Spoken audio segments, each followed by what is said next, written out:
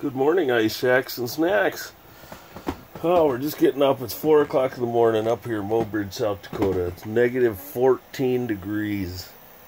Uh, had a good meal last night over at the uh, Windjammer Sports Bar. Had a nice prime rib. Good place. Uh, nice little shot of uh, a special edition of whiskey. What a snack that was. So, we're feeling pretty good this morning. Ah, 4 a.m. Let's try and get after them walleye this morning. Get the shack cleaned up a little bit here. Looks like a little bit of mess. But uh, let's get after them walleye and see what we can get.